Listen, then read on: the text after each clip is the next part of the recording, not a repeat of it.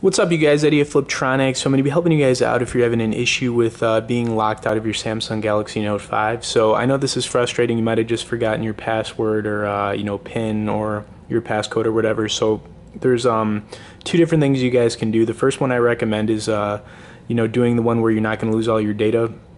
And uh, what you want to do, you guys, is go to findmymobile.samsung.com. As soon as you go here, uh, log into it. You should have created an account if uh, you know you when you set up your phone or if you've downloaded any themes onto your phone then you have an account here if you don't you could register it but uh, you'll be able to log in and then send a signal to your phone which will then unlock your phone that way you could get into it and then uh, you know uh, reset whatever your password or uh, passcode is the second way is to do a hard reset on your phone you guys and what you'd want to do is power off your phone then as soon as you power off your phone you're going to want to hold down the volume down, the home button, and the power button simultaneously until the Android uh, guy appears, and then you want to let go.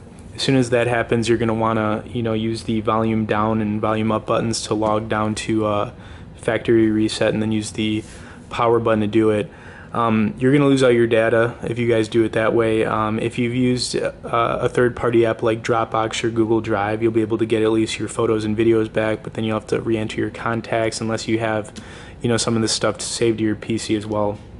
Um, definitely go for the uh, Find My Mobile option first, you guys. If you have any issues with that, you're going to have to do the hard reset, but it's pretty simple. I'll leave the instructions in the description box. Thanks for watching this video, guys. Please like it, stay tuned for more, and be sure to subscribe to our channel.